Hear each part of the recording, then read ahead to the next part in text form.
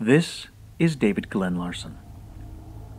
The Paper Iceberg series is a reflection on global climate change and its impact on our delicate ecosystem.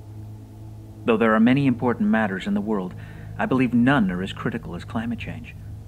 Unless we come together in a collective effort to deal with this issue, we risk not only our own extinction, but the extinction of many of the 8.7 million species of living beings that call this world home. Using paper as an analog for ice, and in some cases plastic reflective window film as a stand in for the ocean, I hope to convey a sense of both fragility and isolation, a reflection of our own isolated blue planet floating in the blackness of space.